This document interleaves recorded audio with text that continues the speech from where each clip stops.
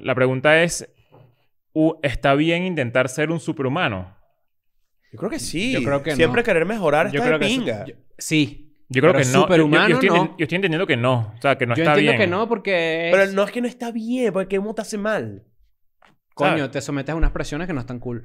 Bueno, pero cuando... Yo tengo que ser si- mejor. Si yo tengo que ubicas- leer. Yo tengo que no si ubicas No, una no presión, tienes que sí, hacer eso. Pero si lo haces por genuino interés Ah, bueno, en ser de pinga y coño, y, y porque te interesa aprender más, porque te interesa, no por la presión social ni nada por el estilo, sino tú dices, coño, de re- eh, leer me lo tripeo, pero coño, me da flojera. Bueno, a mí, pero me, a mí me está pasando que yo no leía porque me da flojera y poco a poco he empezado a leer vainas que digo, coño, está cool, está cool. Y cuando termino de leer digo que, que tripié. O sea, que bolas, que arrecho. ¿Quiero más? Quiero más. Ajá. Mm. Entonces, no necesariamente querés, o sea, ese aspecto que, que Leo está explorando ahorita de no ser, no ser solo un superhumano, sino es creerse, el, eh, crearse el hábito de leer. Porque antes le da ladilla, pero ya lo empezó a disfrutar, no le veo lo malo. Está rechísimo.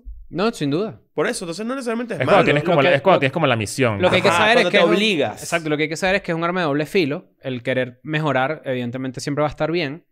Lo que está mal es cuando tú empiezas a querer mejorar por presión social o porque sientes que Exacto. tienes que hacerlo. No, eso sí es una mierda y... una porque la no gente alrededor sentido. tuyo lo hace, ¿no? ¿Sabes? Como que a mí, me, a mí, por ejemplo, en lo particular, que me encanta estar sentado en el sofá jugando PlayStation, escuchando un podcast, habrá gente que me verá y dirá como que este dicho lo que está, es lo que está echado ahí sin hacer un coño, ¿me entiendes? Pero en realidad no, si estoy haciendo.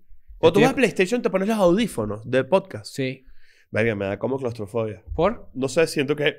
Y si viene alguien que te quiere meter un puñal en el hombro... Me harían un favor. Coño. Que he hecho más Pasó, pues. downer, ¿no?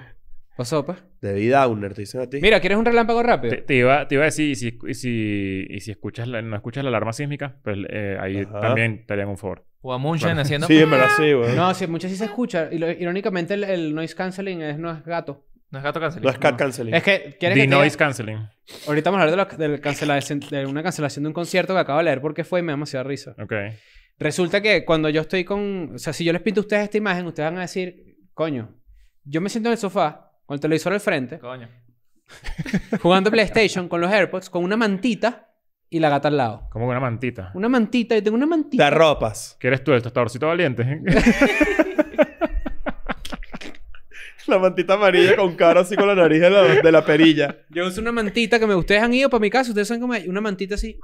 Y me pongo ahí a Un jugar. snuggie. Me pongo a jugar... Pero no entiendo, ¿dónde le pones la mantita? Como del pecho para los pies.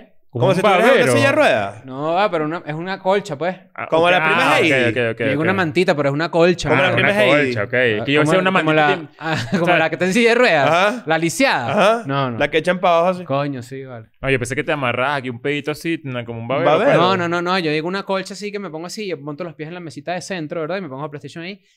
Una horita, dos episodios. Un episodio de Conan, un episodio de Mark Maron. A veces escucho Escuela de Nada y me río, honestamente. Felicidades a Entonces- ustedes por que hace esto.